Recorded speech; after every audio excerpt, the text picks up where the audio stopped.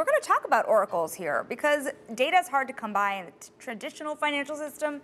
It's hard to come by in crypto because it's such a vast landscape. So when we're talking about oracles, what do you really mean? And what does it mean for the universe of smart contracts that need that external data from uh, the real world services that really provide that gateway um, to each other?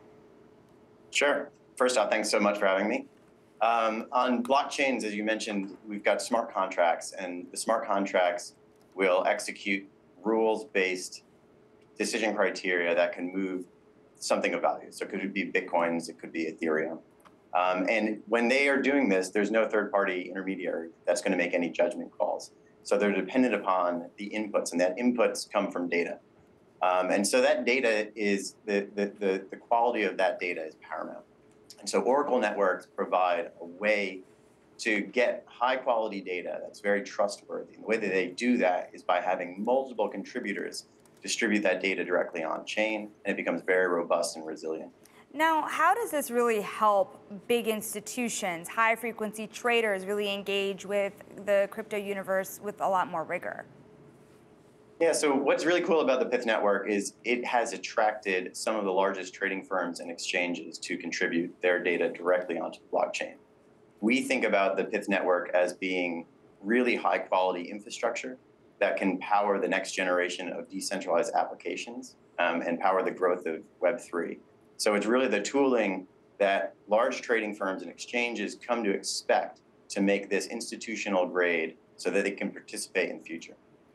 You know, it's interesting because when you think about how it used to work, data is proprietary. data is something that not a lot of people like to traditionally share. So what do these firms get out of it by starting to share data and starting to amass more data altogether? That's a great question. So there's a reward mechanism within the Pyth network where the data providers are incentivized to provide that data on chain. Um, and what has been very exciting is in a similar capacity to how Airbnb has enabled an entire new inventory of places to stay.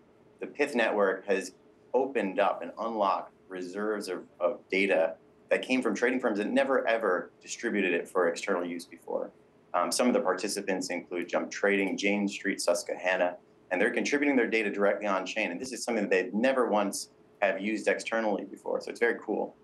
Mike, you used to work at Morgan Stanley, and you know when you look at this kind of high frequency trading world, all those companies that you said that you work with, like Jane Street, Susquehanna, why is it that high frequency trading firms are more likely to engage with this universe than a, a large firm like Morgan Stanley? You see some of those big houses starting to trade in crypto, but it's really at the margins.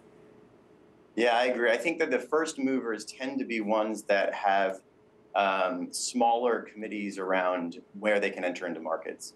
Um, so these are really the nimble firms, um, the ones that get in early. They're comfortable with both the cryptography risk as well as potentially some regulatory risks. Um, and then navigating that landscape is never easy, but it's a calculated risk that they have to take. For the banks, I think that they need to get a little bit more comfortable with the caliber and the scale of risks that they're going to get into. And I think they're making a lot of progress, as you mentioned. Um, and we will expect to see them come in over time. And what would it take, do you think, for decentralized finance to do everything that you would see in the tra traditional financial system? Yeah, I think it's going to take a lot of development. Um, there's some things that crypto does really well, which is like you know sending things around the world of value um, with low friction um, and low fees.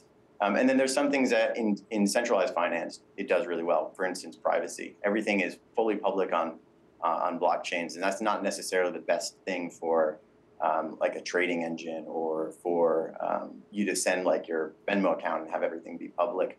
Um, so I think that we're going to see better technology emerge, um, and this infrastructure tooling is really designed to allow people to build stuff and, and build stuff that can compete with the real world of centralized finance. I'd love for you to talk about your work also with certain blockchains, particularly Solana. Of course, we've come off the merge. We were talking a little earlier this week to Anatoly Yakovenko. You know, what is it, what kind of data do you have? What kind of decisions are you making as this ecosystem evolves to know what's going to be more dominant moving forward?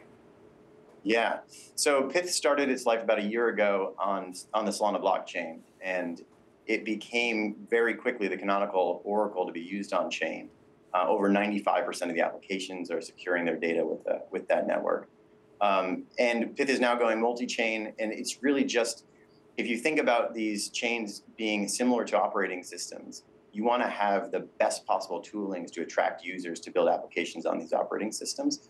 Um, and so having Pyth available on chain is a very important component um, for these, these layer ones to compete with one another. So Pyth goes to all the EVM chains now and will ex- extend to the, the, the, new ones, some with uh, competitive aspects to Solana using different languages as well. I have to admit, Mike, a data oracle sounds a bit like a mythical creature. So, what exactly, what is the function that you serve in this community? What kind of data are we talking about here? You know, what is the ultimate goal? Yeah, it does sound like a mythical creature. The name does come from Greek mythology, and Pyth comes from Pythia, so um, there are ties in there. But today, um, the, the Pyth data um, spans the sector of crypto, US equities, FX, metals, um, so we've got a bit of everything. You can see the price of Apple updating on chain every 400 milliseconds and being u- used by anybody. Um, but you can go on the, on the website and see this type of information. We expect to have that scale out to other categories if people are interested in using them in smart contracts.